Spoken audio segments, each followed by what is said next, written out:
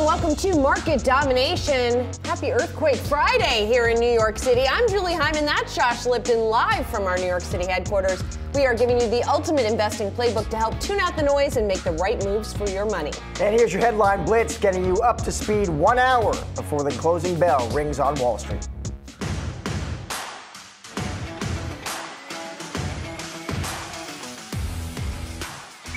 We can see sustained and broad-based growth across the board. So this was a very strong another labor market report that demonstrates stable, steady growth. Not just the 303,000 jobs created, but as you said, the unemployment rate has remained under 4% now for over two years. Fed is going to be watching this to see if the labor market gets hotter and certainly causes them to pause or at least uh, wait until they need to see more uh, improvement in inflation before they start cutting rates. AI uh, was a hype year in 23. 24 will be a uh, start of the implementation, and 25 will really be the revenue year. So we still have a ways to go for software. So if you look at companies like NVIDIA, Dell, uh, all, all, the hardware infrastructure, right? All the attention's there because all, all these companies that are putting AI in are having to put those that critical infrastructure in now. We've got an hour to go until the market close. So let's take a look at the major indexes here. We basically were up, up and away after this morning's jobs report and have pretty much stayed uh, near the highs of the day, rebounding, of course, after some losses earlier in the week on uh, not just the jobs report, but also some continued Fed speak even after uh, Fed uh, voting member Michelle Bowman said, you know, if the data does support it, maybe we wouldn't even need a cut this year. She said, however, that is not her base case. So we see the Dow rising 310 points or so, about three quarters of 1%, the S&P 500 rising by a percent, the Nasdaq up by about 1.1%. And if we go back to the S&P for just a moment and take a look at the week here, still down on the week. We've only had I believe, five weeks that have been lower this year for the S&P 500. This is the second worst week, on track at least for the second worst week, with a drop of about 1.1%. And then looking on over to the sector action and what we see today, it is a pretty broad-based rally with the exception of utilities here. It's industrials and communication services and tech that are helping lead the gains that we are seeing today. Um, so a little bit of a cyclical rotation here out of the some more defensive sectors, Josh. And Julie, labor market uh, continued to impress in March as employers added 303,000 jobs. That was much more than economists had been looking for. But is this enough to get the Fed to start cutting rates? Let's welcome in Michael Gapen, B of A Securities Head of U.S. Economics. Michael, it is good to see you. So let's just start with that jobs report, stronger than expected. Michael, give us your take. What were your big takeaways?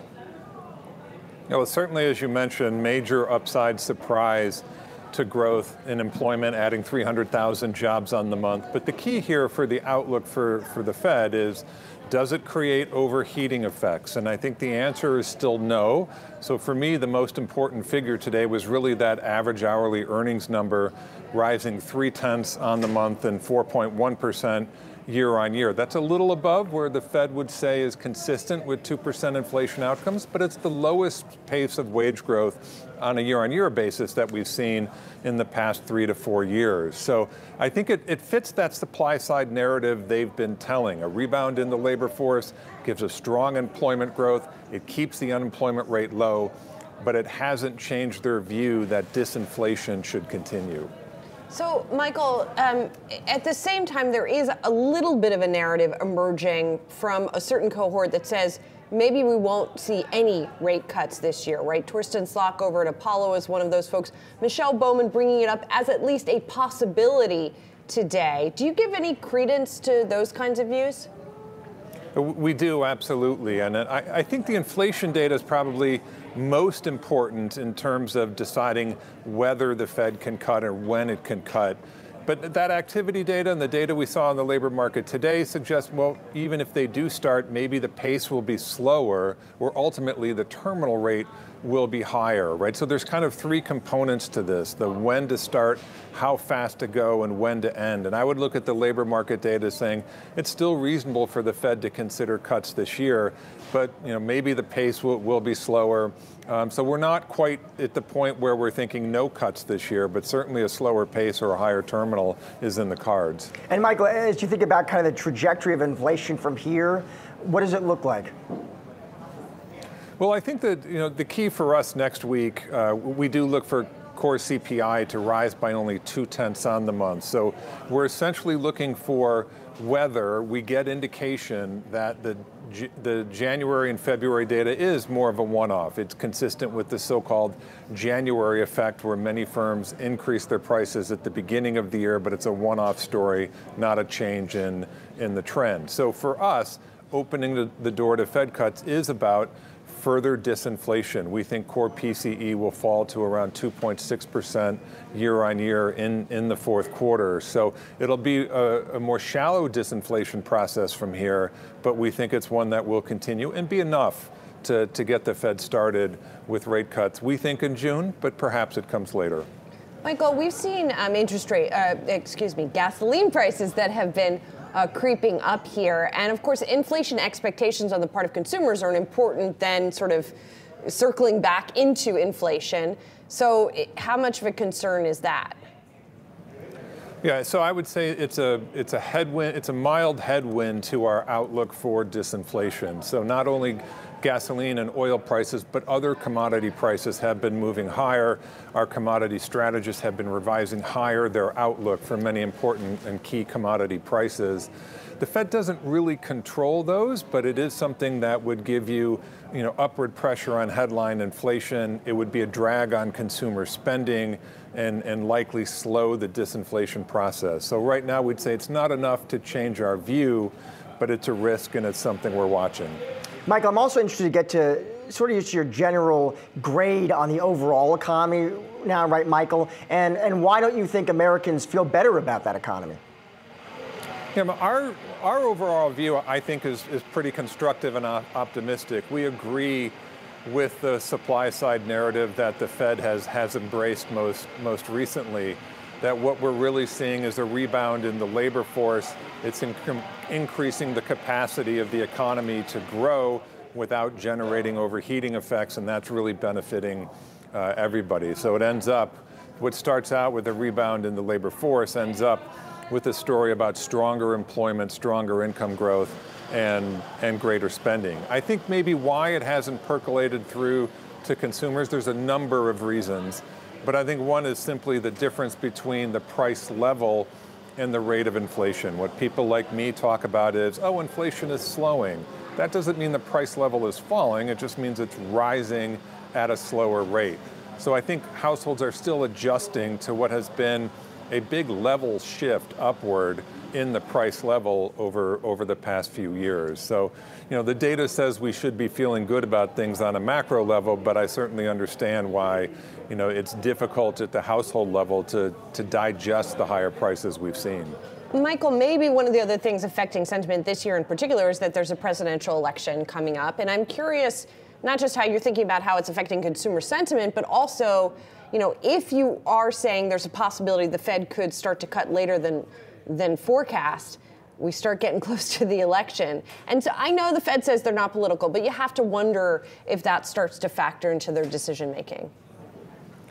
Yeah, my, my view is that, um, you know, I used to work there, so maybe I'm a homer and I'm biased, but I, I do think that the Fed tries to make these decisions independent of the election cycle. So I think that ultimately, their credibility is best served by conducting policy the right way. And if they think cuts are justified, they should do it. If they think delaying rate cuts is justified, they, they should do that.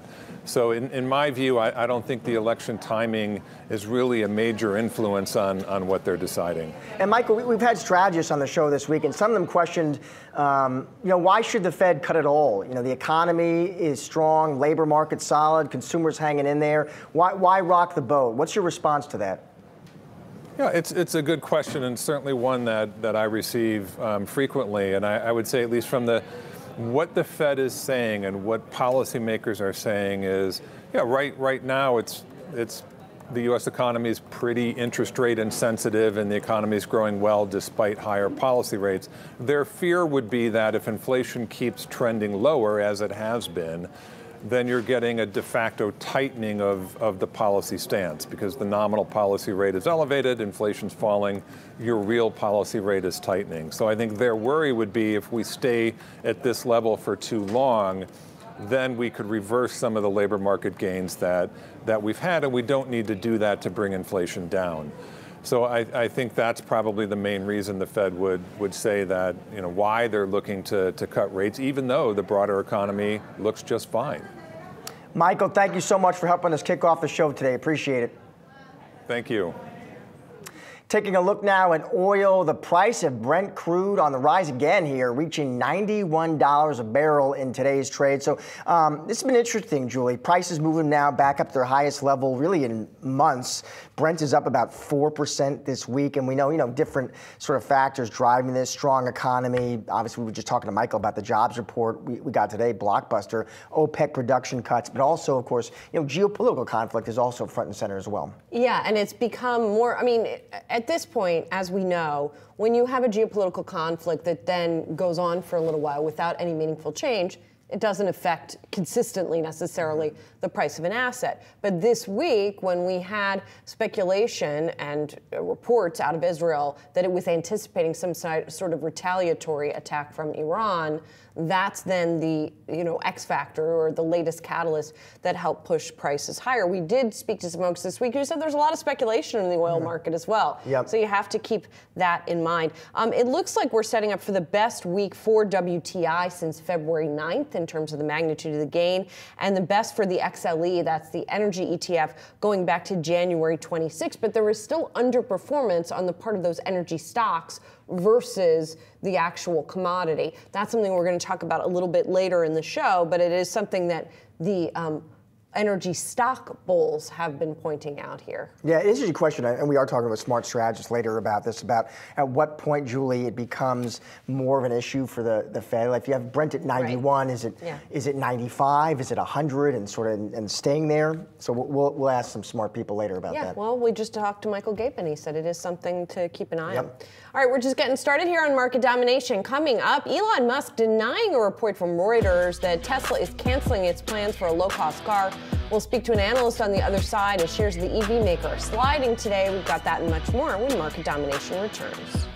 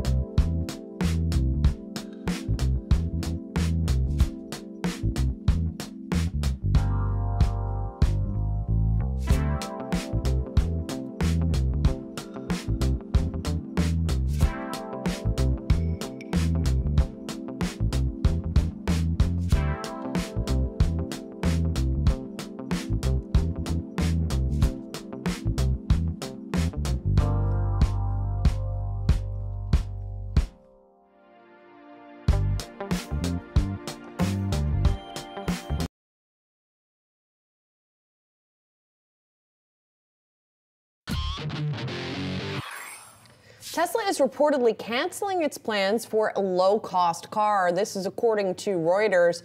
Tesla CEO Elon Musk took to social media to say in an X post that Reuters is lying again. For more on this, let's bring in Roth MKM senior research analyst Craig Irwin. So, Craig, you know, Reuters citing um, various internal memos as well as employees that it spoke with um, in the source of this report how, how seriously are you taking it? Um, and you know, we know already that if they are still planning this car, it's not coming out for a while.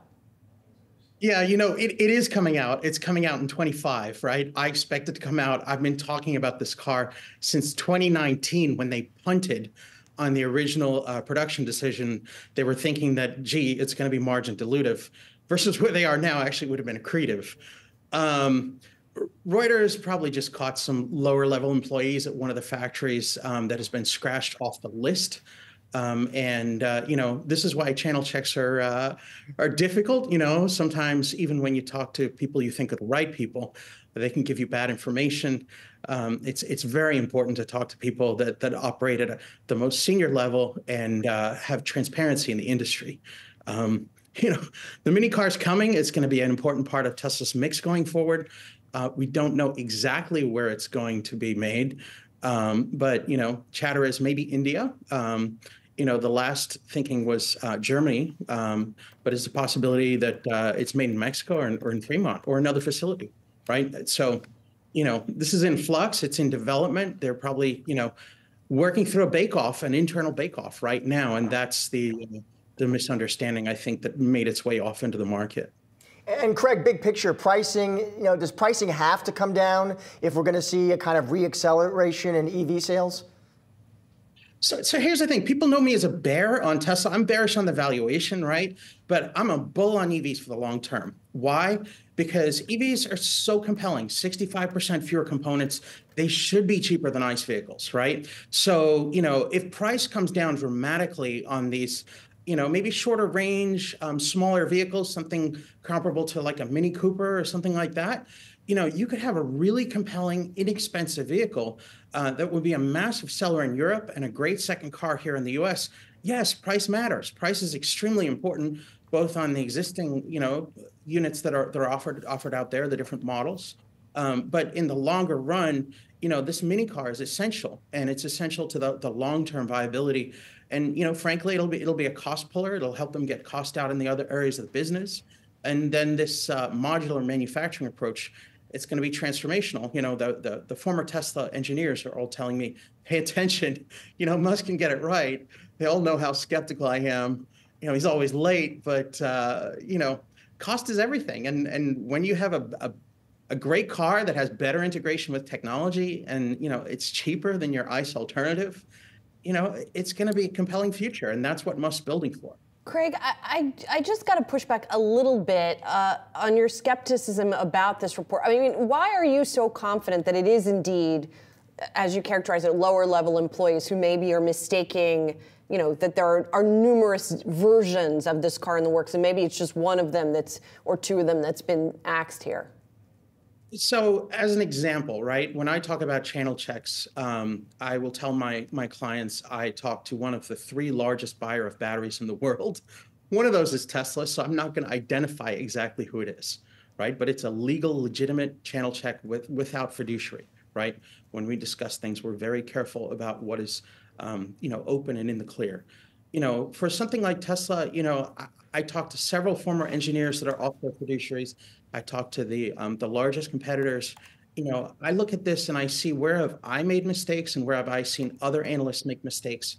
You know, it just looks like it looks like they were talking to you know people in a facility that that lost the bake off right and and and the bake off should be going on right now um, so you know bad information and then hey musk isn't one to mince words you know i wouldn't have said lying i would just say there's a misunderstanding and i, I might have you know, tried to politely correct it myself, but you know, Musk is a little bit contentious with the press these days.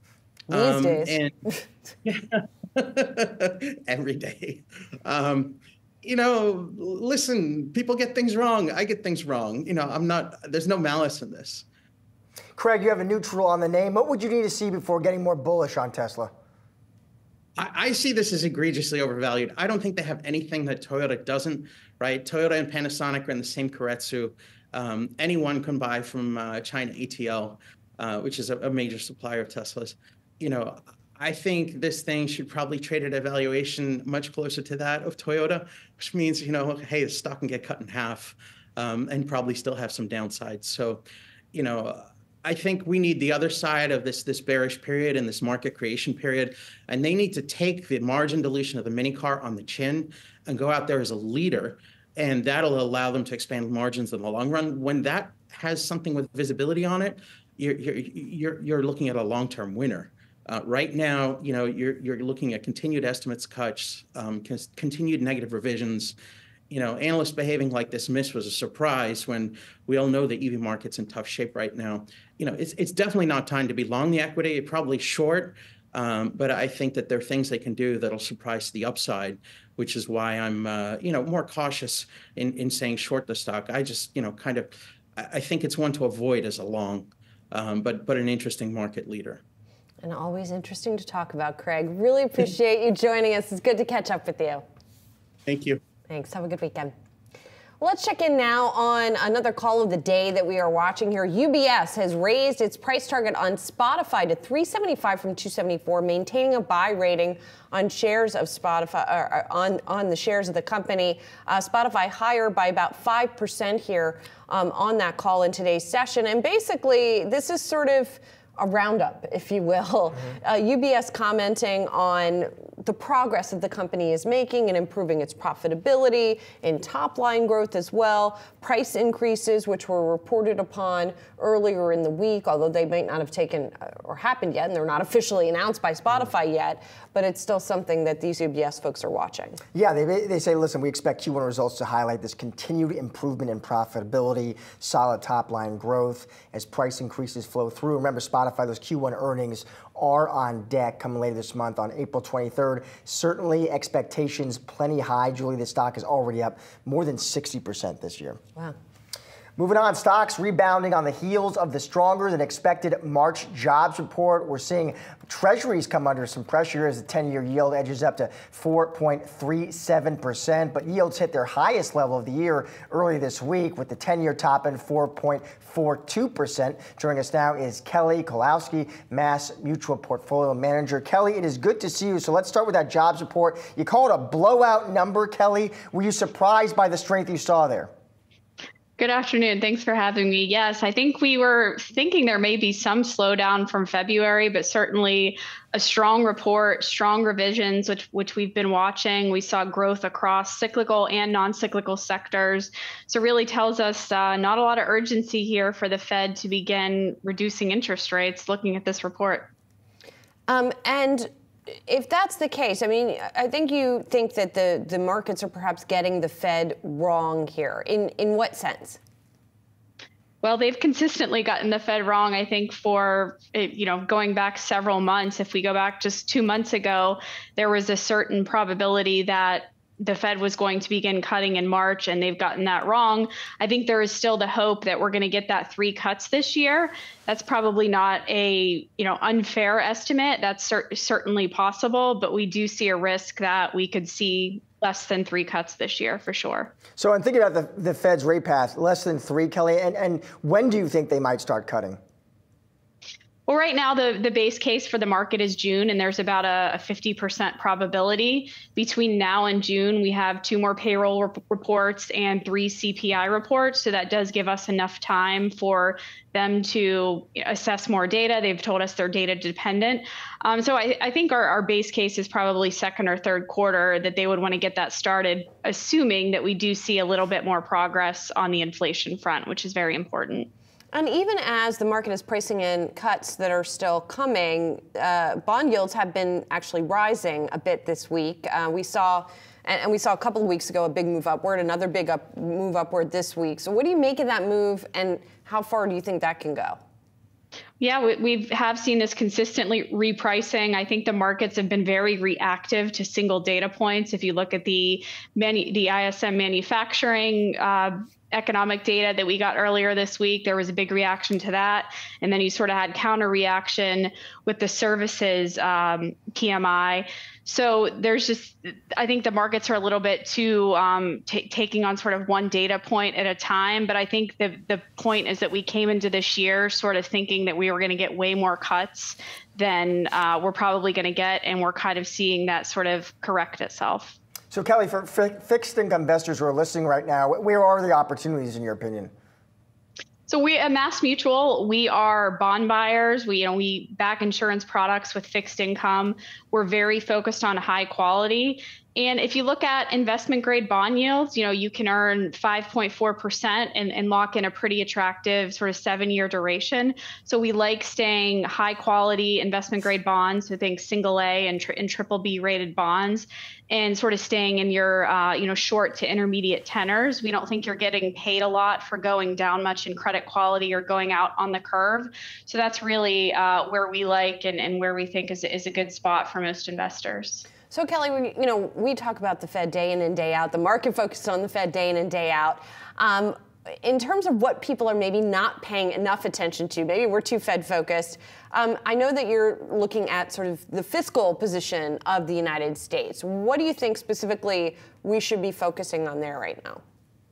That's a great question because everyone is asking why hasn't the economy slowed if the Fed's been hiking interest rates so much, and that's because the the government is actually working, you know, counterproductive to what the Fed is doing and stimulating the economy right now. Um, so we see that as sort of a risk when we think about volatility in treasury yields and the reception to auctions. We did see it have an impact sort of last year uh, in the in the third and fourth quarter. So we think that the unsustainable fiscal position of the U.S. government is, is a risk and something that we should think about as we think about the, the premium you're pricing into sort of long dated treasuries and U.S. government debt. And with the presidential election coming this year, there has been a little bit of reporting that voters are paying a little bit of attention to this issue. But as we've seen traditionally, there hasn't been any real meaningful movement on this from either side of the aisle. Does that change this year? I know you're not a political analyst, but you know, from from the market's perspective, any chance of that this year?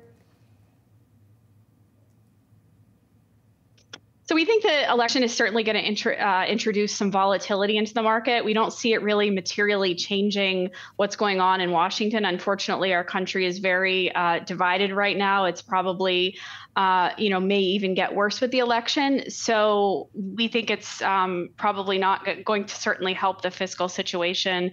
Um, but we do see probably a certainty for volatility in the second half of the year. All right. Thank you, Kelly. Thanks for joining us. Have a great weekend. Thanks. Take care. Coming up, it's the latest edition of our series, Good Buy or Goodbye. We'll get investor insight on two stocks to help you make the best choices for your portfolio. Stick around, much more market domination on the other side.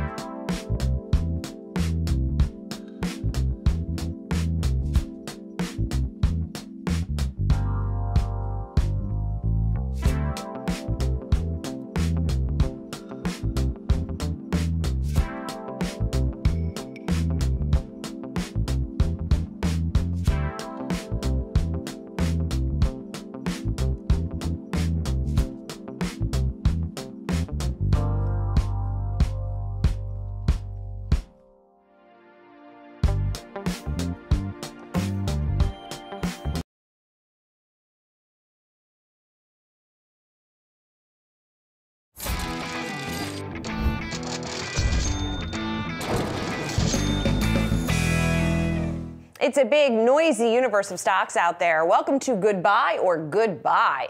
Our goal to help cut through that noise to navigate the best moves for your portfolio. Today we're digging into the highly competitive semiconductor industry. So what's the best way to play your asset allocations? Let's bring in Dryden Pence, Chief Investment Officer for Pence Capital Management. Thanks for being here. Appreciate it. Absolutely. Great to be here. Thanks so for having me. Let's get straight to your buy here, and it is Taiwan Semiconductor, which has been much in the headlines as of late, but really always is when we have the semiconductor conversation. The stock's done well over the past year.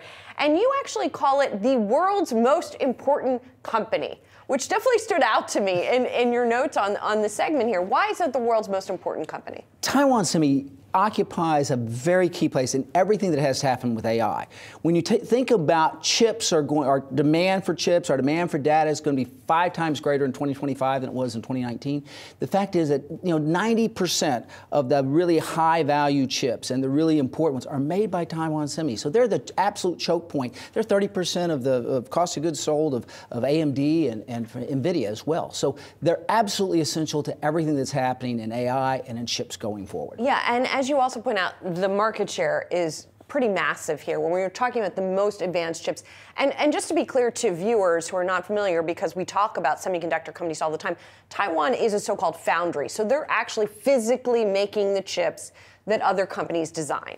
Exactly. And and because they are, and because they're that foundry, they're just absolutely essential. Like we call it the choke point, right? No one is able to accomplish their long-term mission without using Taiwan Semi. So that gives them pricing power. And pricing power is going to turn into long-term excess earnings. So that's one reason why we, we like the stock for short-term, long-term, and all the way through. Interesting. And that 90% market share is just astonishing. And then finally as well, um, you say their technology is far ahead of competitors because there are certainly other companies who are in the business but they're not close in size. Exactly. And they're able, Taiwan Semi has this unique ability to build upon their successes and kind of maintain their initiative in this. So as they're working through not only their processes, but where they are, but their technology, and they're fully integrated into all the other big players. No one can really do their business without Taiwan Semi. So because of that, we think that it, it's, you know, they're going to continue to have this continual product renewal when you think of like think of Moore's law, even as as things get better. So I think when you think of it as a foundry, it's the absolute essential building block for the future of AI. Interesting. Okay, so as we always do, we like to talk about what could be a potential risk. And we got a little bit of a renewal of this conversation over the past week. Now, you say the risk is the geopolitical issue.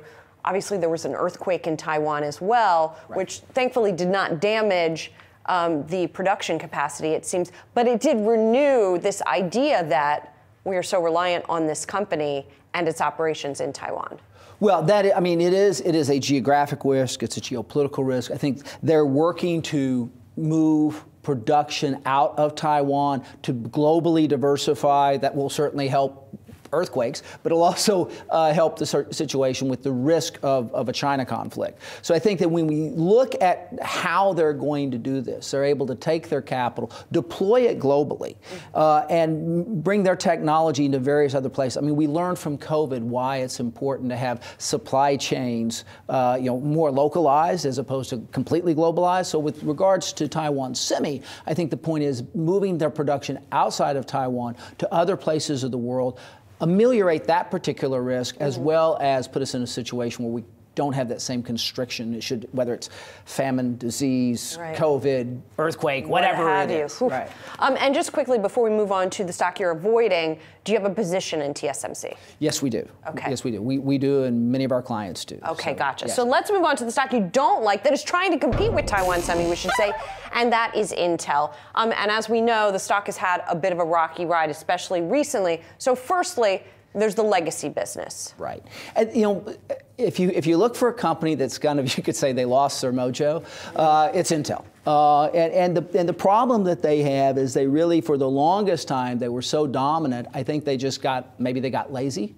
Uh, maybe they just didn't innovate enough. But whatever it is, they're losing market share to Taiwan Semi. They're losing market share to anybody else in the business. And they're really not able to keep up with their innovation. And I think that that's really important. You can take a look at companies over time that kind of lose their ability to innovate. I mean, you can look at IBM, you know, or something like that, massively dominant at one point, and then they become less effective. And so we worry about Intel in that sense. They, they're really going to have to work hard to kind of reassert themselves. Yeah, although you could argue IBM has come back again, so maybe at some point, and one of the ways Intel is trying to do that is to build its foundry business. So basically to more directly compete with the likes of a Taiwan Semi and others by making its own manufacturing capacity. Exactly, and I think that they're they they you know they at one point they were 61% of the market, but now they've you know fallen yeah. dramatically, right? So now they're going to have to redeploy and work directly uh, to increase their foundry capabilities. They're trying to compete with Taiwan Semi, but Taiwan Semi is so many years ahead of them. So when you you, you not only do we look at it as one to avoid in and of itself, but we certainly look at it as one to avoid in contrast and in comparison mm-hmm. to the other players because they're really years ahead ahead of them them. Right. And, and as you point out, Intel just came out with an update as well with some numbers around the foundry business that disappointed the market. Yeah, and they're losing money. I mean, yeah. the, the, you know, the short answer is yeah, we're trying to make a huge investment in this, but we're we're losing money and we're not really catching up. And I think that that's one of the the, the big things. I mean, the, you know, their losses ballooned over to up to seven billion dollars in right. this segment. So I think you have to be careful with this, and that's kind of one reason why it's on the on the avoid list. Yeah, and then one last thing that is the other sort of um, point of contrast with Taiwan Semi is the, the dominance with major industry customers and that technological edge that you pointed out. Exactly, and I think when you take a look at Qualcomm, AMD, Broadcom, all the other, you know, those those companies where, where you know 30, 40 percent of their cost of goods sold is with, with TSMC, and and you see Intel trying to move into that. The problem is, is supply chains are so tight, demand is so high people are not going to want to disrupt something mm. that's working. So it's going to be very hard for Intel to kind of get back in to those systems. And I think that they've just got a hard road to go. Now that doesn't mean they, they can't do it, right? Uh, they, they probably can, but I don't think that I don't think they're going to catch up with someone like TSMC anytime soon. Gotcha. And I guess that last point is sort of the risk to the downside. What could go right? Well, it could work, the foundry it, it effort. Um, maybe work better and sooner than some investors I think the biggest thing, I mentioned earlier how we see this five fold increase in demand for data between 2019 and 2025. I mean, AI and everything. There's more data demand, more chips demand. It's in everything. I mean, they, there's chips in electric toothbrushes. I mean, you know, I mean, yeah. when you get when you get into it, and so what's go, what can go right for them is that this just tremendous demand is there and maybe they're second or third or fourth place, but second or third or fourth place is still profitable mm. when demand is, is, is massive, right? right? And so I think that's the thing that can go right in this scenario. Gotcha. Uh, is that you just you just TSMC can't keep up and, and, other people can't keep up, and so they, you know, there's enough to go around, and so their their business is going to be okay. Right. It's not a zero sum gain in exactly. game. In other words, um, it's an ever expanding pie. Yeah. Um, position in Intel. Uh, very, very minor. Okay, very, very gotcha. minor. Only, only legacy positions that, gotcha. that are held on to for tax reasons. Okay, so let's uh, sort of summarize what you're telling folks here. Basically, you say buy Taiwan Semiconductor as it's a key AI cho- choke point, the most important company in the world for that reason, dominates market share years ahead of its competitors technologically. On the other side, you say avoid Intel. It has lost its technological edge, and that foundry segment is not yet up to snuff. Thanks so much. Appreciate Absolutely. it, Dryden. Thank you. And thank you for watching Good Buy or Goodbye. You can catch episodes here three times a week at 3.30 p.m. Eastern. GE completing its energy spinoff under the new name GE Vernova. RBC Capital Markets initiating coverage on that stock with an outperform rating this week. For more, we're talking to the author of that note, RBC Capital Markets analyst Chris Dendrinos. Chris, it is good to see you. And maybe just to start kind of at a high level, Chris, um, interested to get your take on the kind of the overall strategy here. GE decided to split into these three independent businesses. The right move, in your opinion, Chris? Yeah, absolutely. And I think I think the way that I think about it is if you look at you know a multinational conglomerate the idea behind that business structure is you have economies of scale and you can benefit from cost savings there but what happens in a business like that is there's naturally capital allocation decisions that go on and you know everyone everywhere prioritizes their best investments first and so for GE that has you know a different margin profile across that business. You know, aerospace is fantastic. Energy can be fantastic, but it's a lower margin business than aerospace, and so I think naturally, you know, that business gets underinvested in. And as a spin out, as a standalone business, now the only investments that this company can make are in the energy business. And so you have an opportunity here to prioritize everything and you know execute and accelerate the the transformation. So I think it's I think it's definitely the right move for them. And Chris, Vernova operates sort of across different types of sub sub energy sectors, if you will, right? Whether it be solar, wind, et cetera. How should we think about its comparables? Who are its main competitors in that space? Or does it sort of stretch across other different sub industries? Yeah, yeah, sure. So so GE Vernova, they're they're a leader in, in each of the segments they play in. And so maybe starting with the wind portfolio, um, you know, the key players there are, are Siemens Energy, Vestas, and, and Nordex. And in the U.S., they have a leading position. In the U.S., it, it, or in the in Europe, it's competitive, and they maybe have you know a 10 or 15 percent uh, you know market market share there. Um, if you shift over to to the power segment, it's Mitsubishi, it's them, it's uh, Siemens there as well and so you know they're another they're another leader there. They have a number two market share in that segment. And then in the electrification portfolio it, it's a broad no, number of players the you know, ABBs the schneider electrics you've siemens there as well. Um, so there's you know a broad level of competition across every space but you know the the it's a small it's a small pool of, of companies they're competing against.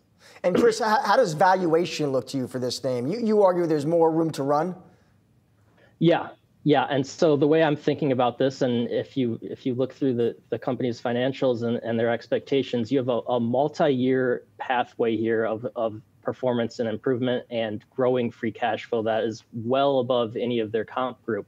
And so my argument is you need to look out a, a, a really long way to see that growth and appreciate the the value that that's being created there. So our argument is, is that you don't look at 2024, don't look at 2025, look at 2026 and that's a period of time where uh, the business looks more normalized to us. Right now, what they're doing is they're working through a backlog of, of unprofitable wind uh, wind losses in, in that portfolio, and those sort of roll off completely in 2026, and that's when you get that full, clean picture of what the true cash flow, flow story of this company looks like. And so our argument is, you know, look out that far, uh, put it in, um, you know, a multiple that's in line with with the multi-industrial average, and you get a really really attractive valuation and a, uh, and a lot of upside and a lot of free cash flow that I think is ultimately going to get returned to shareholders. Chris, if you look at um, other companies, for example, in your coverage, companies, I, I, use sort of the, the TAN ETF sometimes as shorthand for the solar industry, is one example. It has not been doing great over the past year. We have seen some declines. And so maybe if you could talk us, to us about the sort of bigger renewable space um, and where we are in, that cycle. Yeah, sure. So, I mean, right now the, the, the industry is challenged, and if you think about on the solar panel side, um, you know, you've got an oversupply situation that has put pressure on pricing.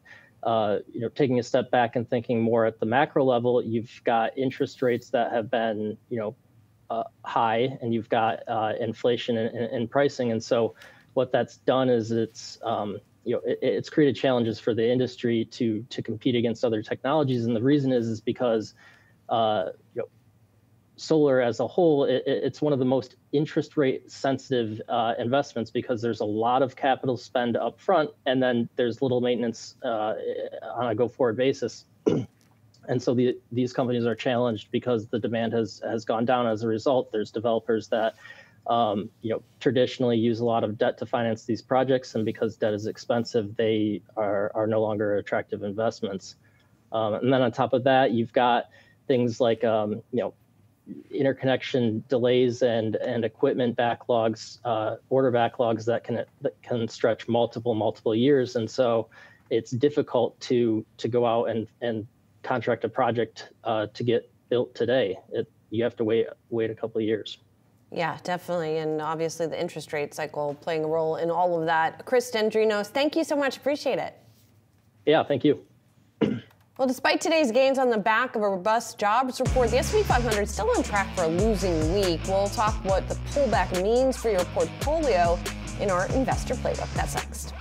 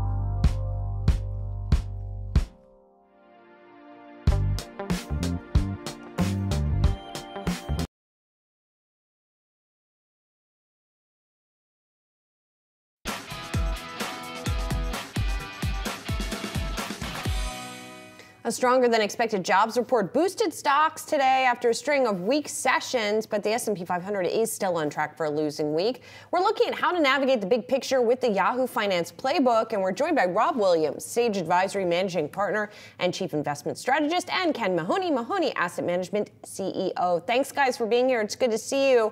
So, Rob, um, I want to go to you first because this was a little bit of a rockier week, capped by the jobs report today that seemed to reassure the markets. But did it feel like a turning point for you at all, or is it just now full speed ahead, next thing the CPI? No, to you, to your point, we've had a lot of really good economic news the last couple weeks, uh, and this past week the market has not run. So I think the market uh, is starting to respect the fact that the rate picture, you know, the the possible outcomes on the rate picture has widened because of strong data uh, and, maybe respect some of the geopolitical risks and some of the complacency we've had. Um, you know, it's a very you can't ignore the job report was very strong, but if you crack it open and you can't poke too many holes. But my only criticism is something we all know is a lot of this is still driven by deficit spending and spending. You know, half of those three hundred thousand uh, jobs were driven by government-related sectors, government directly, or or some of the healthcare uh, components of jobs that are kind of driven by government spending. So, you know, uh, there's been a lot of complacency. It's good data, but I think, you know, we're still in the camp that there's some, la- the, it, there is a monetary lag effect and it's been extended because of fiscal spending. And we don't know when that's going to come to an end. So the markets are acting like we're heading right into another expansion. But maybe they're starting to think twice about that now. Ken, same question to you. Just start big picture here, Ken. Your, your thoughts on the market, where we are, and, and where you think we're headed. Well, nice little bungee jump we had yesterday, right down, right, right back up, almost recapturing all those points yesterday. Look, I thought it was overdone. I thought it was overreaction. The Fed governor said, I penciled in. Okay, maybe it's not ink, but pencil's pretty good enough anyway, that we may see two rate cuts. Look, I've always been in the camp that be careful what you wish for. We don't want a whole bunch of rate cuts because that's accompanied with slower economic activity. Uh, look, we saw the volatility index lift. Remember, the VIX is interesting. Doesn't really give us the direction, but it kind of shows complacency versus, hey, we're trying to put some hedges out there. It's telling you that, hey, things get a little bit dicey in the macro, geopolitical. But I do think some of these concerns are going to ease a bit when we get to the third, fourth week uh, here in April when we start reporting the first quarter numbers. And I expect a lot of technology companies to beat and raise guidance. So look, it's possible to have a two-tiered market, kind of like, hey, it's a tale of two stock markets, technology and everything else.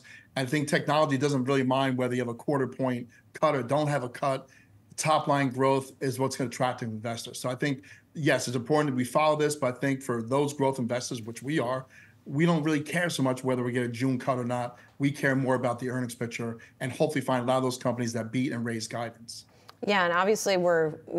It feels like we just finished earnings, and now we're getting back into earnings. To your point, um, Rob, I know when we're looking at groups here, a couple of the groups that you like are energy and healthcare. Um, and just in a bit of trivia on the week, those were the best performing groups in the form of energy, and the worst performing group, I believe, in terms of healthcare, are among the worst performers on the week.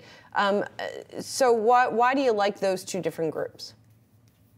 I think you want to start thinking about diversifying, especially if you've been looking like the index. Uh, you, are very concentrated. So I, I, do think it is attractive in a couple ways because it is later in the cycle. So I think it makes sense to continue having tech and growth. But if you take a quality spin to it, if you screen for high quality, uh, high free cash flow, things like energy uh, screen very highly, healthcare, pharmaceuticals you know that that's still kind of a lot of those are can be in the mega cap sort of growth bucket, but they have those other characteristics. They have a little more defensive flavor to it. Energy is really the only sector that's you could consider cheap. Uh, so you have some valuation on your side there. Uh, but I like our the growth variety uh, kind of expressed in a high quality tilt and and looking for high free cash flow. Uh, and it, that that's way you trimming down some of the most overvalued overcrowded areas of market, but still participating. So those two in particular look look good over the medium term, I think. And Ken, back to you. I know you said this earnings season you're looking for a, a, lot of tech names to beat and raise. One name you like, Ken, is NVIDIA. Now that stock's already ripped about 80% uh, this year, but you still like it here, Ken. You know, I always hear about how expensive it is. And I look at last week, Nike came out and I'm like, that's expensive. Their forward PE is 35, as is NVIDIA. By the way, NVIDIA's forward PE on average for the last 10 years has been 35. But with Nike, they're talking about top line growth of 1%. And here with NVIDIA, we're looking at 90 to 100% top line growth. So look, rear view mirror, very expensive from video. But remember, it's not like what Wayne Gretzky says. It's not where the puck is, where the puck is going. And I think they made a strong case with AI, especially Jensen at the uh, AI conference, that we're probably in the second or third inning of this. So if we get caught up too much in valuations, I think we may miss this. So yes, it is it is pricey, uh, it is expensive, 35 forward earnings, but that's been where they've been. Uh, that's where they are. And there's a lot of other companies trading at 35 uh, forward Ps that don't have anywhere near uh, the top line growth potential like NVIDIA has. And, and just quickly on NVIDIA, I, I know you're a long time holder, but it's different being a buyer and a holder, right? So would you right. add to positions or start a position if you didn't have one in NVIDIA at these levels? Right, right good question. So, you know, we're looking at 8, 8, 800, 820. Uh, if we pull back there, should probably be a pretty good setup. Uh, remember, they're a little bit off cycle as far as when earnings come out, so they won't be reporting the end of April, it'll be the end of May. Um, but again, it, look, again, it should be on your shopping list. Maybe keep an open order there, you know, below the market. Uh, but again, we think uh, definitely if AI is in a second or third inning, may not want to stay around for the ninth inning or extra innings, but certainly that's a pretty good runway. Still make money, even though it feels pricey. Try buying a pullback if you don't have it already. Ken, Rob, thank you guys both for joining us. Appreciate it. Pleasure. Thank you. Have a great weekend. You too. While we're wrapping up today's market domination, don't go anywhere. We've got you covered with all the action following the closing bell. Stay tuned for market domination overtime.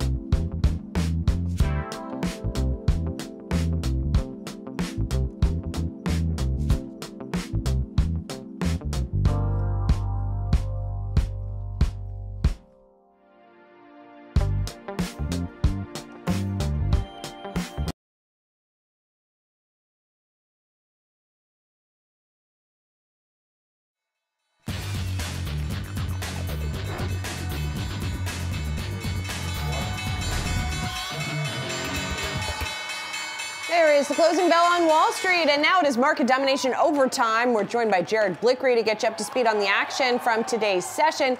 Let's talk about where the major averages ended up. And by the way, You probably heard there was an earthquake today in New York City. That happened around 10:30 a.m. I don't know if people stepped away from their desks for a minute to figure out what the heck was happening, but stocks rallied.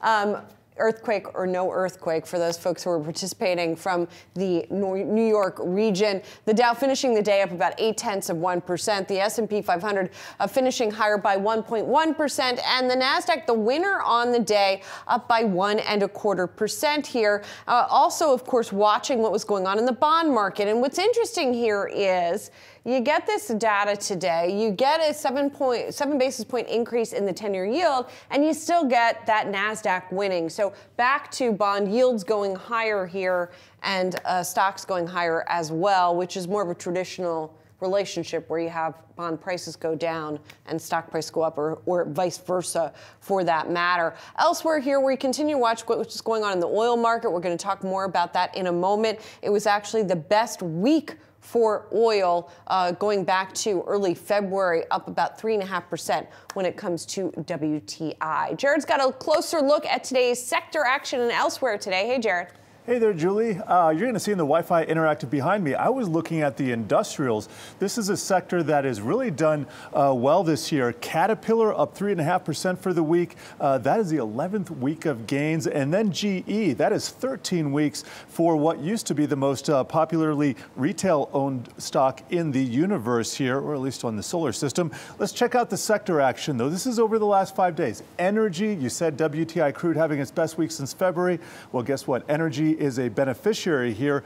XLC, that's Communication Services, also in the green, but just about everything else in the red. XLV, that's healthcare, had a bit of a stumble. I believe that's on the Medicare news that came out with respect to pharmacy benefit managers. But then we have real estate down 3%, consumer discretionary, that's retail down 2.8, staples. So the retail trade really suffering here, and financials not doing that well either. Tech just kind of finishing in the middle of the pack, but still in the red there. Uh, I want to show you what's happening with my leaderboard. Another oil ETF, surprise, surprise, is in the leadership position. That is up 4.1%. Cannabis, we're expecting a lot of cannabis earnings next week. They also did well. Chinese internet, which is uncorrelated with U.S. tech by a long shot, but also New York Fang uh, did pretty well. So that would be some of the mega caps. What did not do well is retail. I was telling you about ARK. that is uh, unprofitable tech, and Bitcoin, and also solar. So the bottom roll, everything down by more than 5%. And it does kind of seem like we're just taking a little bit of a backseat here. I don't want to say the indexes are poised to revert, but they have stalled out a bit. And here's the NASDAQ 100. You're going to see kind of an even split between green and red. Josh. Thank you, Jared. It was a wild week for markets, mostly to the downside, but the jobs report driving stocks to close with solid gains. Josh Schafer here with his takeaways from this busy week. Josh. Yeah, Josh, it's Friday, so I want to zoom out a little bit and I won't get too overly positive about the jobs report just yet. We can get there. um, but when we look at the major indexes for the week, they're going to be down for the week again. And what, what stuck out to me there, guys, is on Fridays, I usually sit down and I have to write our sort of table setter. You get to write. I get to you write. Get to I, get, write. I get to write. I'm fortunate enough to write our table setter for next week that goes out on Monday, sort of where we're at with markets. And it feels like for the better part of three months now, I've been writing stocks are at record highs and seem to be not caring about anything else that's happening that's bad. And for the first time, I'm finally writing, it seems like investors are starting to care a little bit about the risks here. That sort of felt like a little bit of a shift in the narrative to me this week when we think about some of the Fed speak that we got, it seemed like that sort of caught investors' attention. We had the geopolitical tensions come up yesterday that gave us a spike in oil. We saw that direct correlation between how the NASDAQ acted, the Qs acted with the oil spike, right? And we saw a little bit of a sell off there. And just the overall inflation story, it seemed like people are starting to hone in on that question a little bit more, which I think in prior weeks we've been sitting here and sort of wondering, why don't we care about any of these risks? And I, I don't know, maybe we had a little bit of a shift this week? Maybe. Maybe. You're I, not sold. Why aren't you sold? I'm not sold. I just don't think we haven't. Uh, maybe I'm going to play Jay Powell and say we need more data before sure. before we can make that kind of a conclusion. But I did see, you know, this is something you and I have been talking a little bit about because um, when Torsten Slok of Apollo, parent company of Yahoo Finance, first came out and said there are not going to be any cuts this year, you know, they kind of caught got our attention because Hmm. no one else was really saying that at that point. Now you have others, including members of the Fed, Federal Reserve officials. who are at yes. least bringing up that possibility. And and it seems like that's going to become a growing part of the conversation overall. If the data were to stay in line with, say, what we got today, right? We're looking at very strong economic data. But I guess the question so to go back to your earlier question Sure. about whether the market is paying more attention to the risks, that scenario, depending on why they wouldn't be cutting, isn't a risk. Right.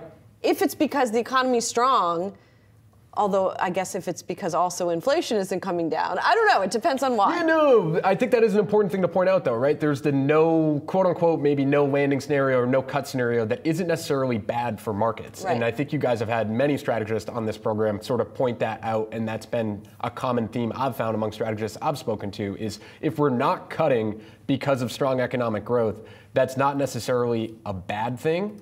Um, I guess, p- part of what I was getting at here is it seems like the market's maybe just reacting in a more realistic way in that sense, like I look at say small caps today, it seems like whenever we've had these rallies on positive economic data, small caps have actually outperformed the S&P 500, right? They didn't today. We, we didn't see some crazy rally in something like that, and because small caps, many people would argue, do need cuts, right? So maybe I don't know if it's considering the risks a little bit more. It seems like maybe we're just we're getting there a little bit more than we were before, Josh, if that makes sense, and we're Yeah. starting to maybe take that take it into consideration. Yeah. What do you think about? Do you hear strategists also t- sometimes talking, Josh, about not cutting is a risk in the sense that what if you get a surprise to the economy and then all of a sudden the Fed finds itself in the position like, wow, now we got to cut and cut hard. And so there's some folks who argue you cut a little bit now because you're kind of trying to build in some type of sort of uh, supply shock or, shock absorber. No, it's definitely a risk, right? But the one thing people bring up with that is the labor market. And I did not see of all the different economic research I was looking through today and some of the economists we speak to, it did not seem like any signs in that non-farm payrolls report that we got today of pure cracks, right? That you would be worried about from the higher restrictive stance. Like that just wasn't really in that report. It seemed like the folks who saw it were looking pretty hard Right, for, yeah. for it. Yeah.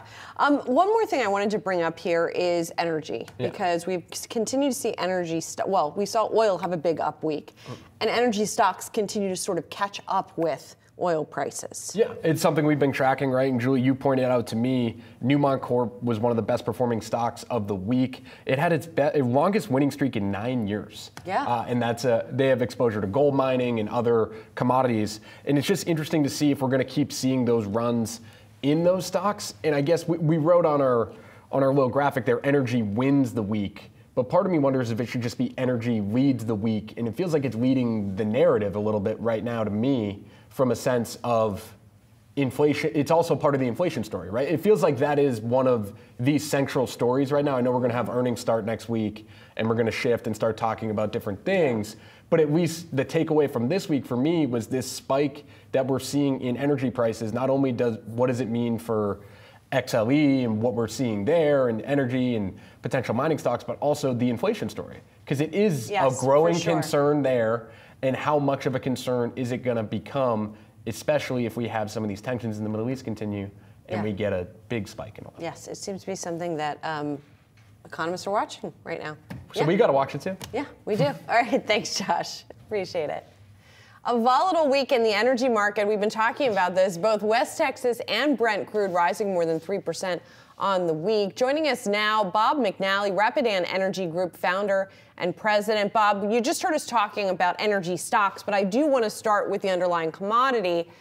And an interesting week in which we finally had things sort of moving the needle out of the East, which has not been happening consistently over the course of this conflict.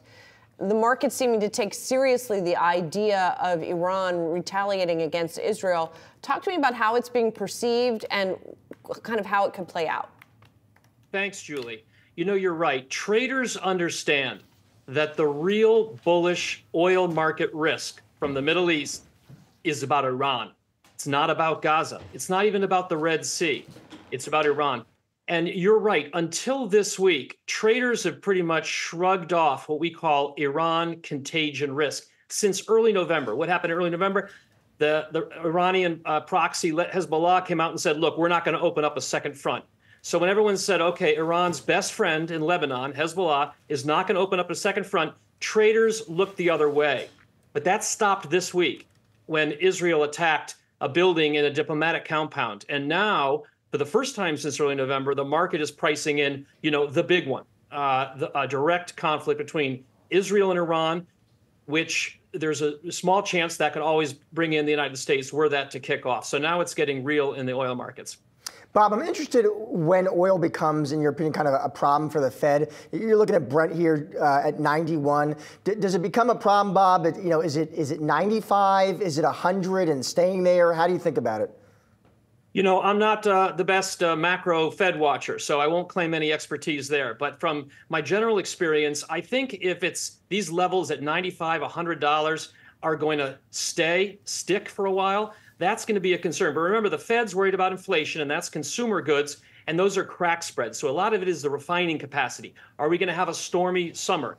Uh, is the retail price of gasoline going to head back to four dollars a gallon? It's now a little over three fifty. You know, so I think they're going to be looking at both the crude oil market, the refining market, and if we sort of shift to where we're not in that 70 80 dollar crude market everyone was thinking about and we're going to 95 or 100 or higher and that sticks around that's going to that's going to affect inflation break evens, uh, investor sentiment, positioning, and that's got to worry the Fed. It's got to slow them down on those on those cuts. What is the likelihood of that happening, Bob? Uh, that kind of price action, especially if we don't see an Iran, you know, sort of flare up here. So if you assume no big increase in geopolitical risk, our models, I think consensus is more or less thinking crude oil prices are fairly valued in the high 80s, $90 range, right? I think it can stay there for a few years. I think we're in the foothills of a multi year structural cycle that will be very bullish XLE and everything else. But the next year or two, we're probably fairly valued. The downside risk is a recession. That's a known price killer. So there you have it. Um, I think if uh, geopolitical risk comes into the picture, and we think it will, we think there is much more upside, at least 10 more dollars upside, just to the perceived risk uh, of a conflict with Iran. This is not over um, then I think we go higher still. But I think it's more of a blip back down, and then we position for a structural bull move later this decade. And Bob, what about gasoline at the pump prices? We've had some other strategists say to us that in the past, when prices have gotten to a certain point, consumers have said, "Well, we're not going to drive as much," and then you've seen the the prices pull back a little bit. Where do you think that's the case? And if so, where is that sort of sweet spot, or where is the upper limit? Yeah, so you know, gasoline prices, what we call and demand is sticky, right? Because you don't have a choice. You almost have to buy it. If chicken gets too expensive, you buy beef. Gasoline prices are up. You still got to drive to work. So you need to see something like, uh, Julian, 2022, record high prices of $5 a gallon suddenly on the Russian invasion of Ukraine. We get something like that. I think then you see the consumers start to pull back suddenly. But otherwise, the demand doesn't really respond respond much. Again because people have no choice but to drive to school to work et cetera. So i think what you usually see on the macro side is consumer sentiment starts to get bummed out. Consumer confidence in readings go down. They start spending less at chipotle and other things. They're still buying the gasoline but they, the consumer sentiment weakens and consumption. I think that's what worries folks about a recession risk.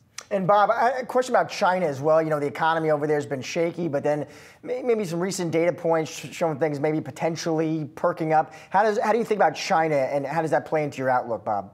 Huge factor, Josh. I mean, macro factors are driving oil uh, to a great degree, and half of that at least is China. And as you mentioned, we've had some surprisingly strong PMI and other data from China, right? They're throwing money at the problem. We think domestic demand is still weak, but you know, government can shower money on, on, on investment and so forth, capital expenditures. So that has contributed to the uplift we had in crude. It's not the only thing. Demand readings are strong. Even in Europe, gasoline demand is doing okay.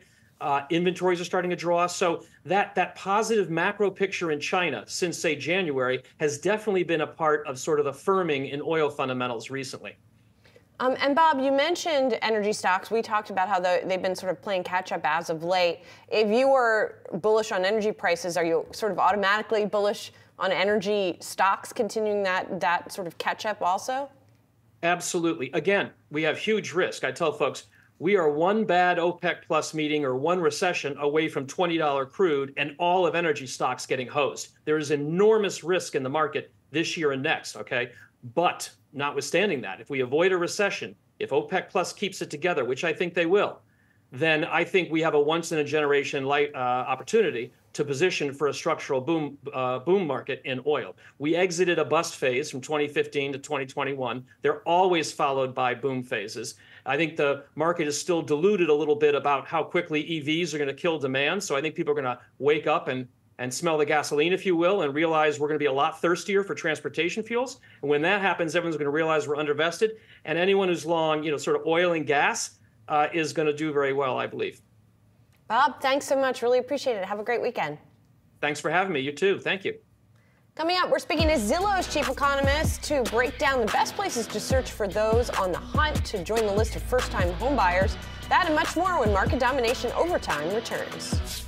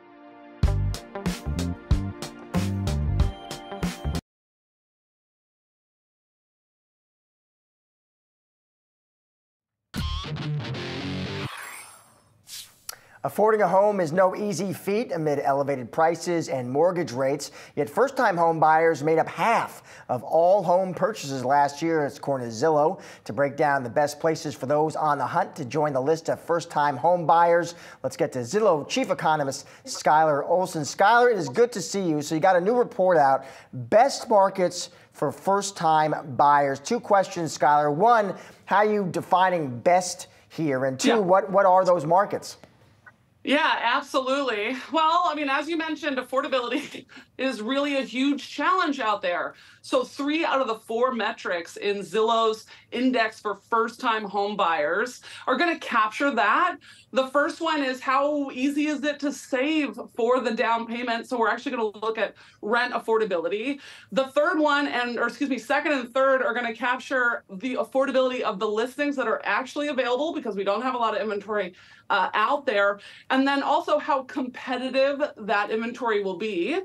Now, those three metrics are going to bring forward the Midwest, you know, is really king in this sense. So here, think Indianapolis, St. Louis, um, Detroit, um, but not that's not all. You can move east, and you have options like Pittsburgh, say, yeah, exactly here. Thank you so much, um, or Baltimore. Now we wanted to balance affordability with livability, and that uh, caused a few of the surprising metros that you see on this list. So rising to the top, uh, Austin and San Antonio, and the metric that's driving this is the share of the population that is between the ages of 29 and 43. In other words, there are a whole heck of a lot of millennials there experiencing the same life challenge. These were really thriving and popular markets over the course of the pandemic.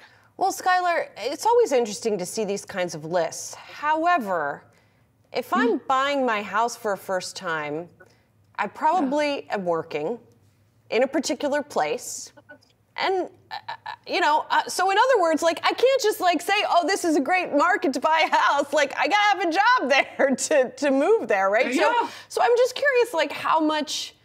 Uh, what utility these kinds i mean it's great if you're already living there you can pat yourself on the back or you can start looking for a house but if yeah. you don't what do you do with yeah. this information well, gosh, that's interesting that you bring this up. I mean, we actually see in you know census data that people actually move more uh, when, or rather, move farther these days uh, when things are unaffordable because you know you might need to move in order to access the lifestyle that you have in mind particularly well rather it depends on where you live now that said you bring up a great point a lot of us kind of fund our lives through the support of our communities. Maybe it's the childcare, you know, that your parents kind of offer you. And that kind of financial support can be critical. You know, for a lot of people, becoming a buyer is going to happen, you know, further down the road because you're going to need to save up uh, for that down payment, which is why we actually included rent affordability in this index for that reason. You know, down payments are still challenging because prices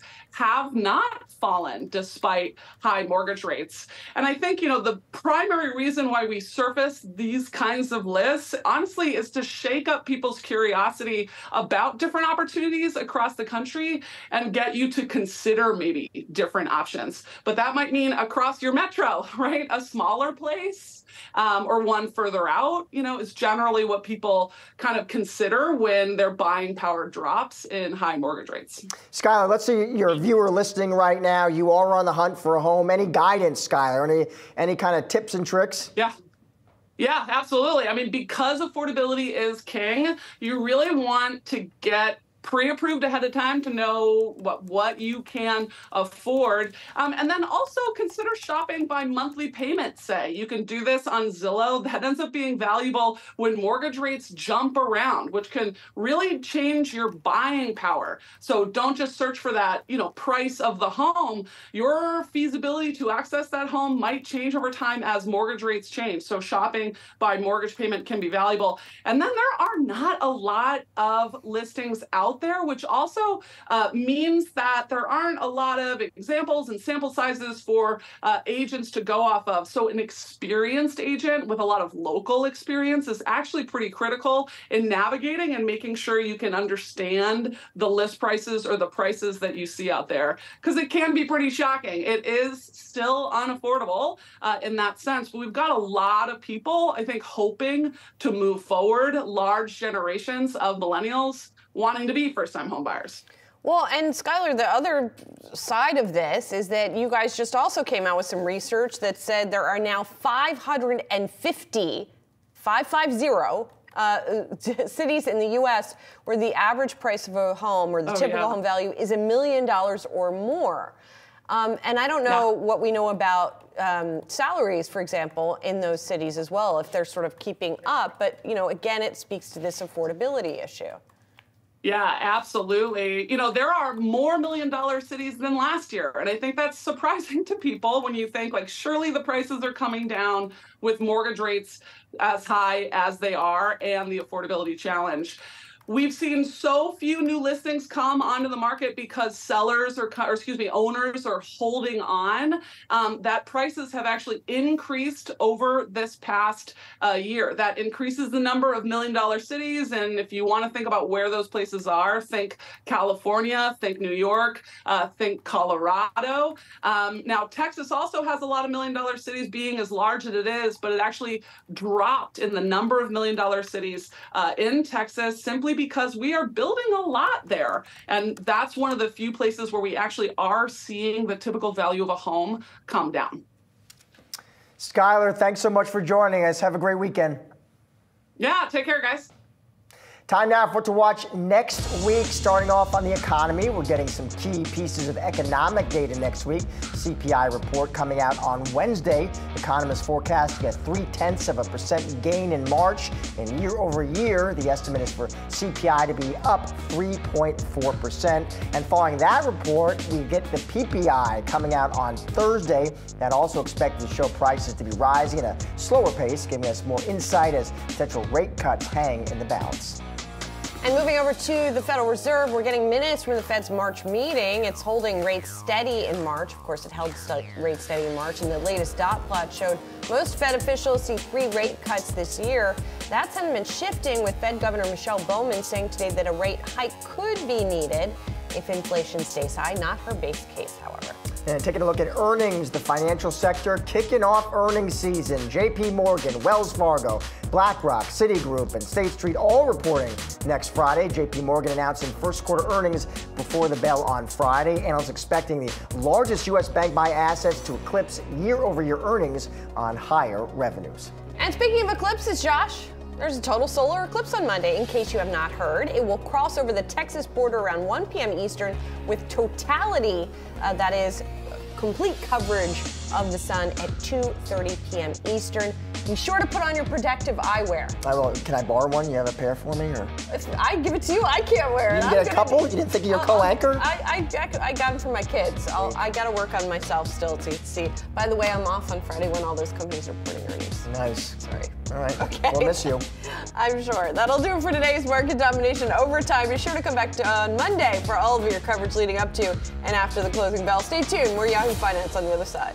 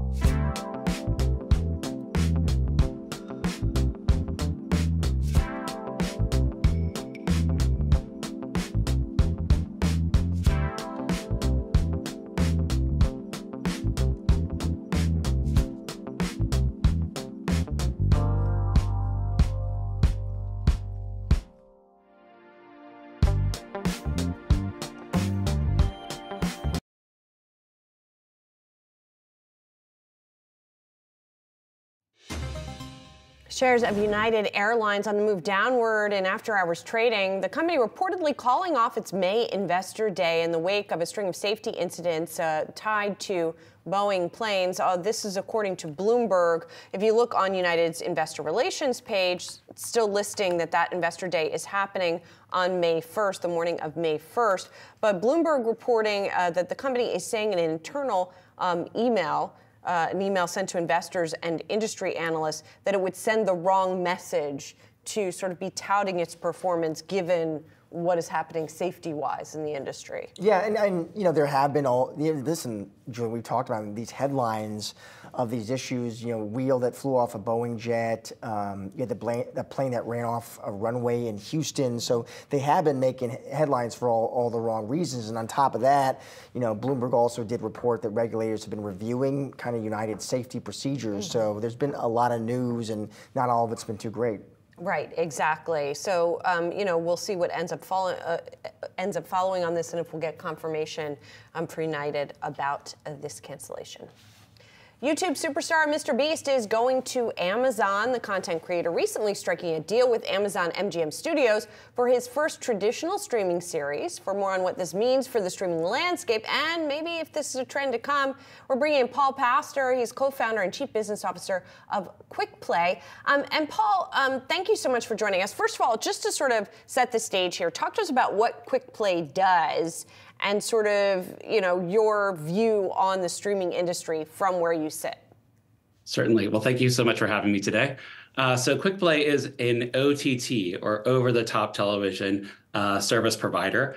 Uh, we support what we call tier one operators, sports uh, uh, sports rights holders, and media groups. Uh, so, what does a tier one operator means? It means somebody who has a very complex ecosystem that's maybe managing uh, legacy systems and legacy business models as well as current and future ones with streaming. Uh, they happen to have uh, really um, they want control over their roadmap and they want to make sure that they can, can can respond to the various needs of their consumers. And importantly, they have very big executives who often come in with a, a request or demand that are looking for new features, new innovations that lead the market, uh, and they're looking for platforms like ourselves to help them drive that, uh, that change in their organization.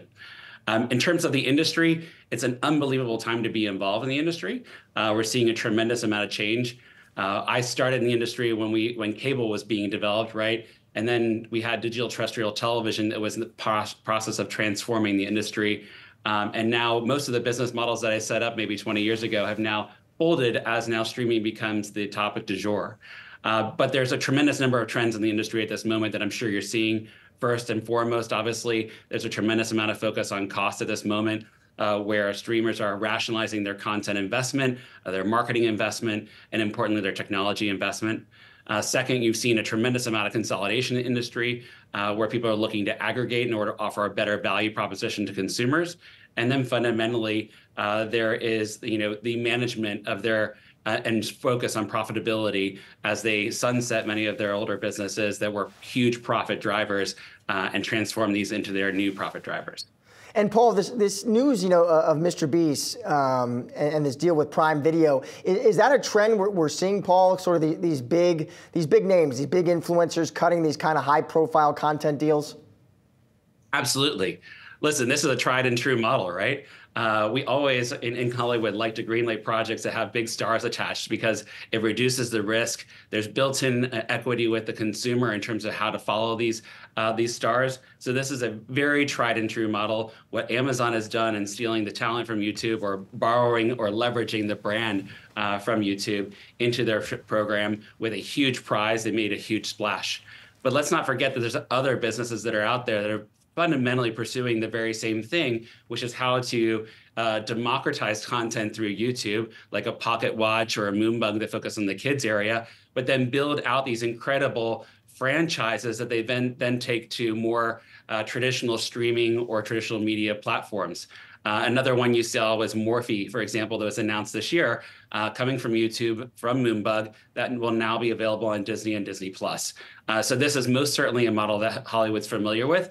It presents a great opportunity, obviously, for influencers and those who build their brands in these uh, more democratized platforms uh, to be able to extend that IP, to extend their talents, uh, and really grow uh, a, a, what is a you know basically production company and franchise business uh, through these other various platforms. I, I, am curious, Paul, what the what the ROI is on something like this, right? Because uh, just to give a you know anecdotal example, my kids are Mr. Beast fans. Um, they watch him on YouTube.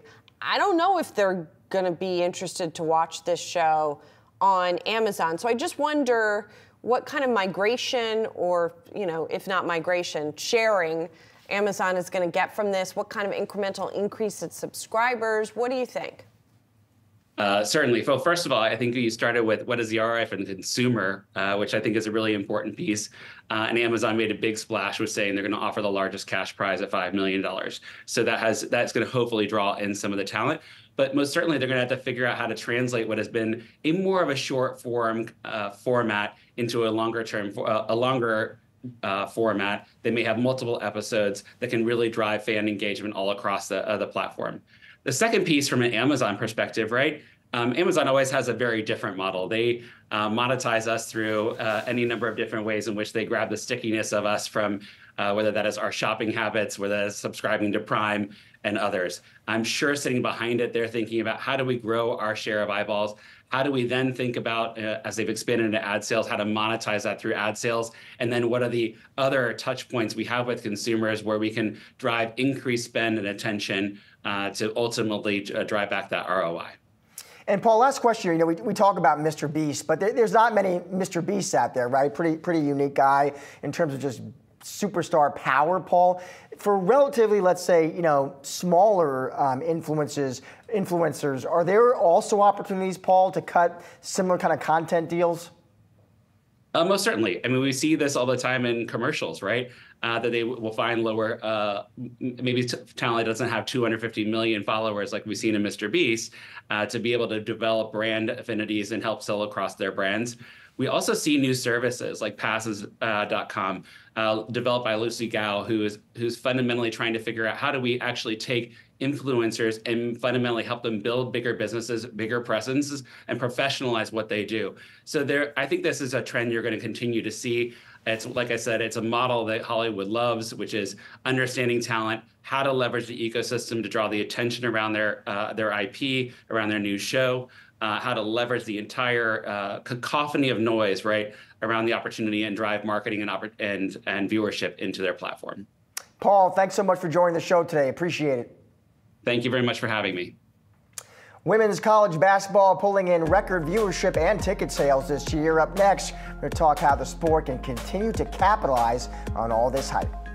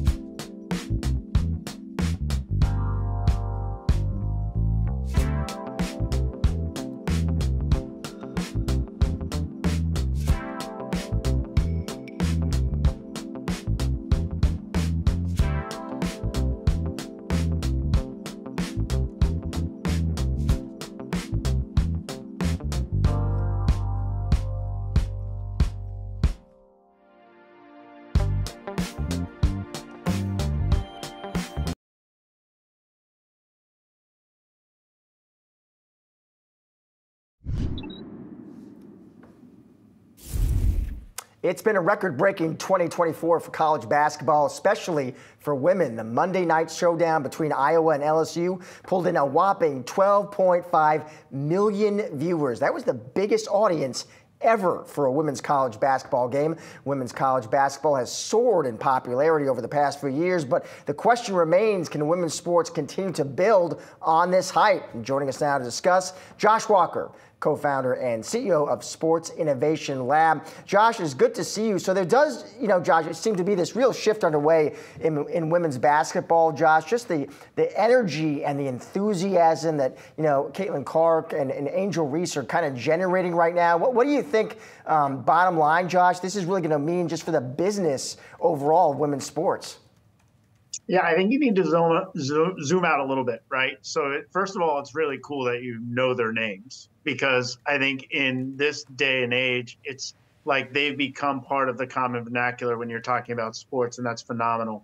We saw this trend coming about three years ago, and you really have to zoom out. This is not an overnight success. This is not just a Caitlin Clark story.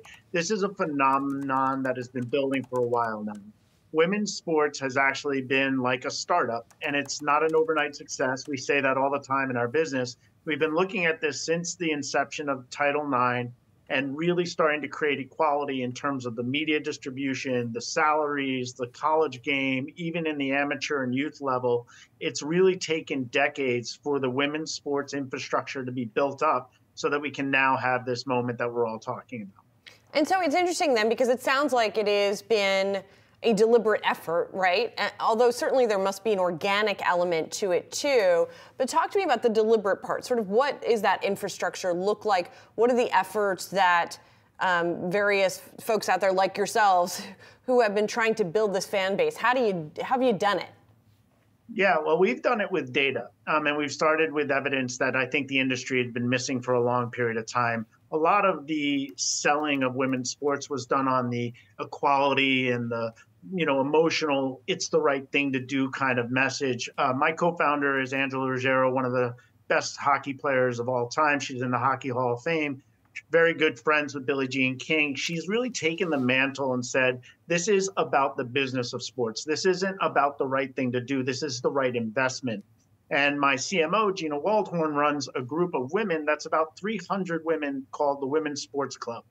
And I only mention that because that's 300 executives that get together, talk about women's sports, and talk about the opportunities to invest in women's sports. So when you ask me about the infrastructure, the infrastructure is this groundswell of emotion that is now being translated into an ROI in terms of investing. And I think when that transition happened, when you started looking at the data behind this narrative, it started to be something that these brands could get behind. Uh, the media companies now are spending real money on media rights. And then you have Morgan Stanley, you have Klarna, you have Scripps, you have EA Sports.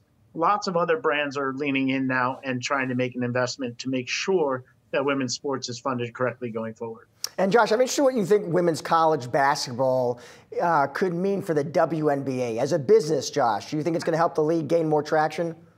Without a doubt, we we shared a lot of data with folks this week, just showing how the WNBA is trending as a result of some of the momentum around March Madness. Now, remember, March Madness wasn't a logo or a mark that the women's game could use in the past. That even just putting a stamp on what's really legitimized this tournament, which has been going on forever, is now just giving the WNBA that kind of momentum as it leads into the draft into the to the next season. The WNBA has been doing a great job. They have a new app. They've been doing a lot more with their marketing and with the team level. So we work closely with the WNBA, are really impressed with sort of how they're professionalizing the game. But make no mistake, they're benefiting from these big names that are coming out of college basketball. And, uh, and also, Josh, who is the fan here? Is it mostly women? Is it young women? And, and kind of what's the spending power of this cohort? We, we spend so much time um, disavowing people of the idea that it's just the dad and his daughter going to the games. We show that there's really a tremendous amount of interest in all women's sports. And it's not just basketball. It could be, you know, a softball fan that also watches basketball that tends to go out because they enjoy a night out with with their family. This is a very well-rounded fan base. It's not one demographic. It's not one type of fan, and I think that's the most powerful thing that the data shows, which is that they're actually buying a lot of products and services. We did a really great study with the WNBA to show them that when they started working with CarMax, CarMax consumers rewarded the WNBA with their business. And I think that there's a really nice connection when you look at the data that says that they want these brands and they want these leagues to be working together very closely. Josh Walker, thank you so much. Really appreciate really interesting stuff. Yeah, it is. It's a super exciting time for women's sports. Thanks for having me. Thanks. Hope to talk to you again. Okay, bye bye. That'll do it for today's Yahoo Finance Live. Be sure to come back on Monday, 3 p.m. Eastern, for all of your coverage leading up to and after the closing bell. Have a great weekend.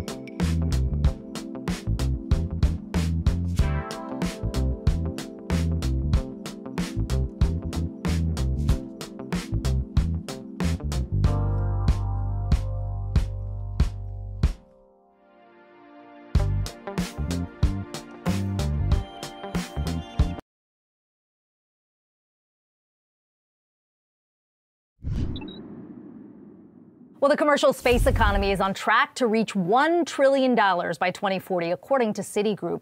Colorado based Sierra Space is at the heart of that, with ambitions to build out a new commercial space station in partnership with Blue Origin. Its space plane Dream Chaser recently completed testing at NASA and is scheduled to launch into orbit later this year. For more on that, let's uh, we are joined by CEO Tom Vice, who is in studio today. And Tom, I'm sorry I can't join you in New York, but it is great to talk to you. Let's start by talking about where Dream Chaser stands right now. What's the timeline and what's the mission? Yeah, uh, first of all, just thank you for having us uh, today. Uh, look forward to having the discussion. Dream Chaser, we're very excited about Dream Chaser. We've made tremendous progress coming out of seven years of development on the program. Um, we're finishing up testing uh, with NASA uh, out at you know, uh, their test facility in Ohio. Um, uh, about two or three weeks from now, we'll ship Dream Chaser to Kennedy Space Center. Uh, we'll finish up some testing at Kennedy Space Center, integrate it on the Vulcan rocket, and we're excited it'll have its first mission to the ISS later this year. Uh, this is the only space plane, as I understand it, capable of landing on a commercial runway. What are the use cases as you see it? Well, the, the way we see it, I mean, we think about really since the 1960s, every science experiment or human being that's come back to Earth from space, even today, is still landing in a capsule in the ocean. Um, and yet, the, the science is very sensitive. Um, we think changing and revolutionize the way that we bring things back from space, both humans and cargo, and landing it back at a commercial runway will again uh, completely accelerate the new space economy. I mean, imagine being able to create biotech hubs around the world so that we could Japan. Same thing in the Middle East. Uh, it's, it's really incredible for us to think about just bringing things back to a commercial runway. We spent a lot of time and, and, and technology associated with being able to land Dream Chaser at any runway that a commercial aircraft can land. And we think that's going to create a new economy around being able to do that. Uh, that's very, you know, we focused uh, around uh, getting Dream Chaser to be able to land in Huntsville, Alabama, uh, out in New Mexico, of course, Kennedy Space Center, Vandenberg. Uh, we've been doing a lot of work around Oita in Japan, and you can, can see us uh, continue to really form relationships with airports so we can bring Dream Chaser back to commercial runways. Let's talk a bit more about uh, those business opportunities you just pointed to. Uh, Dream Chaser initially is going to be supplying to the International Space Station, but you're also building out a commercial space station in partnership with Blue Origin. Um, you know, it's been so many decades where we're so used to seeing one space station, a place of cooperation between countries, and yet here we are looking into the future where you've got not just competing space stations between countries, but also commercial space stations as well. Um, how does that open up the business opportunities within the space economy? Yeah, what we see in the commercial space station is the opportunity to create brand new research and development facilities for biotech, industrial tech, energy tech. Uh, we believe that the next big breakthrough products in oncology, longevity, industrialized components like glass will be produced in, in low Earth orbit. This is, uh, we're transitioning from you know, decades of, of government-run space stations with just a handful of government-trained astronauts to the full commercialization of low Earth orbit. Um, if you think about the biotech industry today, terrestrial markets, uh, most of that work is being done in what's called contract research organizations, contract manufacturing organizations. Uh, part of the work that Sierra Space is doing is producing the first CRO in space for biotech the first contract manufacturing facilities in space for industrial tech. And we think that's going to create, we believe, probably the most profound industrial revolution and grow that space economy, as you mentioned, to well over a trillion dollars by 2040. Uh, Tom, you talk specifically about biotech. Why is that environment, microgravity, so conducive to development there? Because you can actually build really pure protein crystallizations. And that protein crystallization is what is the foundation of being able to create new and novel drugs. Uh, we think a lot about um, being able to greatly expand adult stem cells that can take on a number of human conditions. Um, we're very focused on being able to print 3D organs in space in microgravity that you can't do on the surface.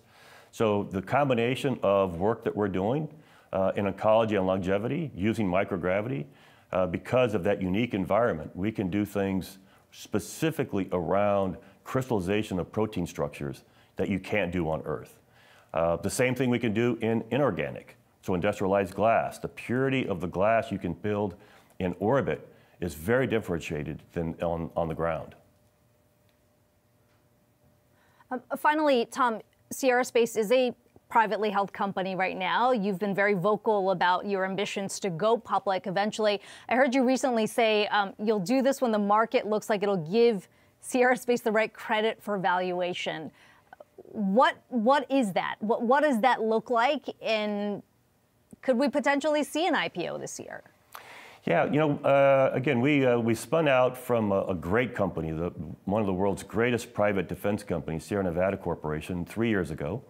Uh, we spent the last three years de-risking our technology stack, de-risking our capital structure, de-risking our business plan. We have a significant, wide, diverse portfolio of products and revenue streams. Um, and so we think about uh, as the private markets, now looking at the public markets, uh, we'll time that right, um, but it provides us a lot of optionality around access to additional capital as we think about growing the company over the next uh, decade. And so the timing of that is uh, we'll look at the public markets. You know, we're valued as a private company at 5.3 billion. Uh, we've raised 1.7 billion dollars in capital through our Series A and B. Uh, we're well capitalized. Uh, but now we look at the public markets over the next 12, 18 months, and we'll make a decision on what the right timing for us is. Tom Vice, uh, CEO of Sierra Space, really appreciate you joining us today. Thanks so much for Oh, thank you so much for having us. Really appreciate it.